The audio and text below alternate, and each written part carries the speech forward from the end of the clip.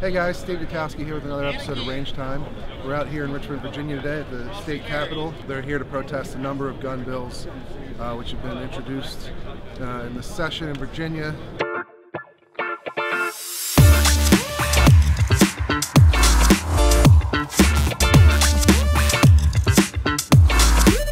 We are in line right now to get into the actual Capitol grounds. There's a uh, screening area up here, so there's a very long line that stretches for several blocks to get in to the actual rally at this point. Okay, thank you.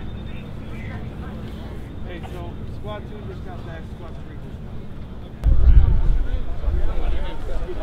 All right, well, we made it to the top, the, the Capitol stairs here in, in Richmond, and uh, behind me here is a huge crowd of uh, pro-gun ralliers. Uh, there's tens of thousands of people easily just behind me, and there's also uh, uh, that whole road to my left is just packed with people. So turnout today has been uh, unlike anything else I think Richmond has seen in years. What's your name? My name is Mark from Northern Virginia. Okay, where, where in Northern Virginia? Northern Virginia. okay, all right. Uh, how far did you have to travel today?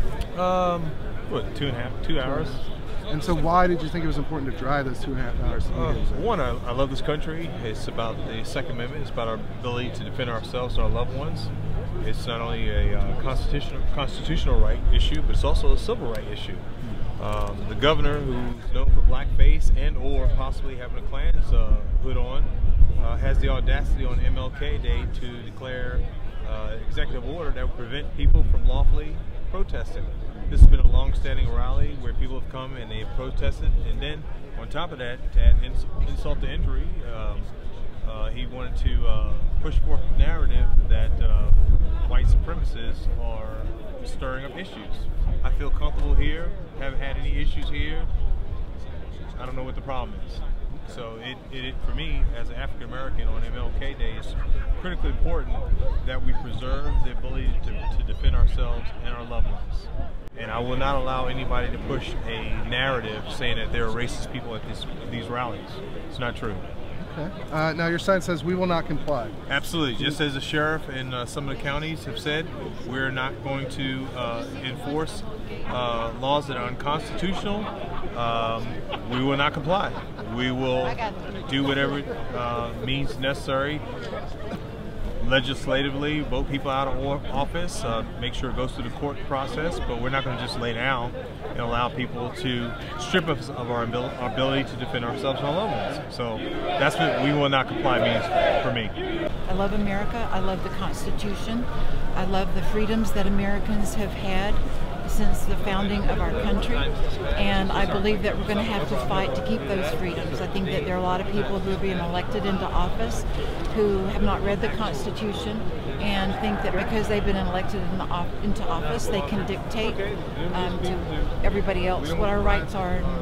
So I don't like that. We will get the attention of Governor Northam and the other legislators who are trying to put through gun bills that are going to limit our rights as Virginians.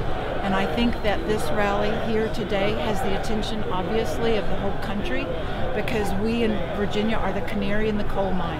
Have any specific policies like that you are particularly uh, against? Oh well, to be honest, the uh, the, the red flag law we're, we're concerned about um, only because there's no there's no code legislation, for example, that would prevent abuse of that law.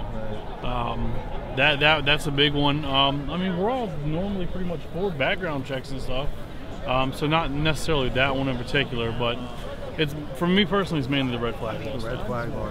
people should be able to have guns. It's the second it's the second amendment and if the government's the only one with guns, that's going to be a lot worse than what's going on now uh, with citizens being able to carry. It's not just uh, that nobody's going to care if they take all of our gun rights away. I'm trying to show that they're wrong about that. People do want them to care about it.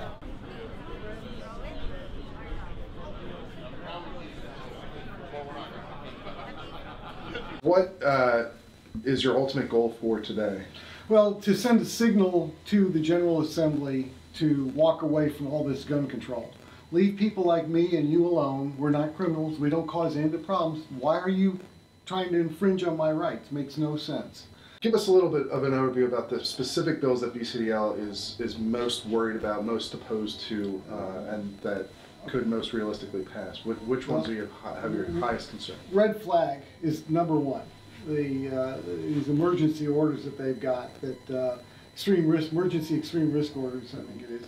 Um, those attack half of the Bill of Rights easily, if not more. And, uh, and they don't, th- th- they're sold on, oh, we've got to help people with, with, with suicidal tendencies. We've got to get the guns away from them. But it's all about getting the guns and not doing anything for the suicidal person. They leave them alone. They can still kill themselves any way they want. Uh, so it's it, it's clearly a farce. You're, you're not uh, comfortable with the safeguards that are in place in the current No. legislation for red flag laws. What's the point if you don't get help for the dangerous person? The whole thing doesn't make sense if you can't help the person that's dangerous. Then to me, it tells me they don't really think they're dangerous. They're not worried about that.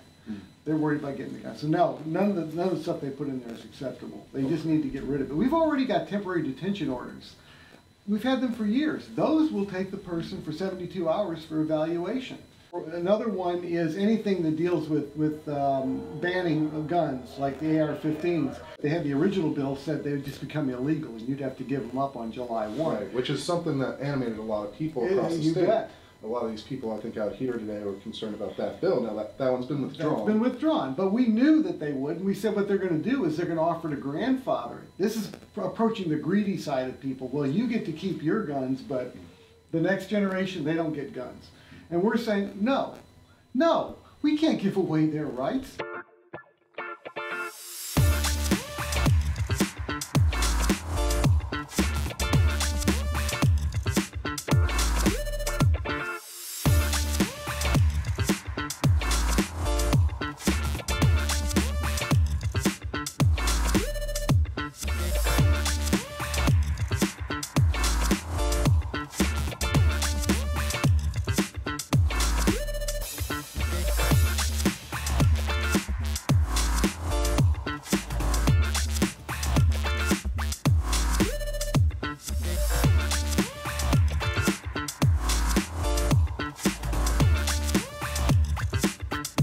All right, we're here uh, just outside of the crowds at the Capitol building. It's only gotten more crowded since we started this morning at 8 o'clock. It's about 11 a.m. Speeches are about to start on the Capitol grounds. People are still here uh, rallying. We haven't seen no incidents of violence or any conflict really at all, so that's great. Uh, and no racist displays, anything like that. So a lot of this uh, sort of media hype leading into the event turned out to be just that hype. Uh, everyone here today has been very peaceful and very focused just exclusively on gun rights. What's your name? Will Duffield. And where are you from? I'm from Ireland. Okay, and so you, you made the trip down about two hours today Yeah. to uh, for lobby day. What specifically brought you down here? Well, I wanted to talk to my reps about HB 961. It's a proposed assault weapon ban, and it doesn't include any kind of grandfathering provision, whatever, for magazines or suppressors. So this is a 30 round magazine for an AK-47, right? Um, 74. an AK-74, right? Uh, and so this, under that proposal, this would be illegal to possess in Virginia. Possess, period. Either give it to the police, throw it away, or just be an outlaw with it. And that's not a decision I want to have to make for myself. I don't think it's a decision that should be imposed on other Virginians. So uh, can you tell me your name? My name is Edward. Okay. Uh, where are you from? Uh, we're uh, from Indiana. Indiana. Okay. And so obviously, uh, so you're you're open carrying uh, an AR-15 on you uh, at the moment. Uh, obviously, there's been a lot of uh, consternation about uh, folks like you from out of state uh, who are armed coming to this rally. Uh-huh. What what would you have to say to people who are concerned about your presence here? Well, we're here peacefully. We're not here to cause any issues. We're just here to show that we are peaceful people. We're not crazy, and that the problem is not guns, but crazy people. The, the fences aren't up because people have guns. They're up because some crazy person might try something. Okay. And you know, most people here are pretty normal. You know, we just we just want to live our lives and be free as Americans, as our founders intended. We have guns that we use to protect ourselves and our family. We don't want anyone telling us what weapon we can use to protect ourselves and which ones we can't. And that your wife's holding a sign that says. Uh, AR-15s for nerf. And She's obviously not a white supremacist, so. The other side. You'd have to be over a hundred. Well, you came out today. You brought uh, what, what kind of dog is this? It's a red Tibetan Mastiff. It's uh, very popular today. Oh it yeah, seems. yeah. Big He's fluffy. got a lot of pictures. Big fluffy pup. Um, and so why why did you come out with uh, what's his name? Samson. Why why are you and Samson here? Well, he's my service dog, and uh, Okay. just here to support our rights and Second Amendment right. So can you give us a little more background about yourself? Um, prior military, uh, lived in Europe, all over. Uh, Desert Storm. Just want to make sure we keep keep our government honest. So we uh, are done for the day. Was we're back inside in the warm, thank God, because it was freezing cold. But the big takeaways I think from this rally are how big it was for one. I mean, this is one of the biggest rallies I've ever been to, uh, and I've covered the March for Our Lives in D.C., um, Glenn Beck's rally, uh, big rally that he had, the Jon Stewart rally. This is among the biggest that I've ever been to. Certainly, tens of thousands of people showed up today.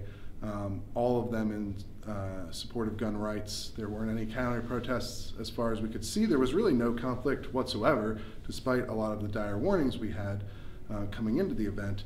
Um, and then I, there weren't any white supremacists or anything like that from what we could see on the ground here today. All we had were people from Virginia um, here to support uh, their right to bear arms. So uh, that's what happened. That's what we saw.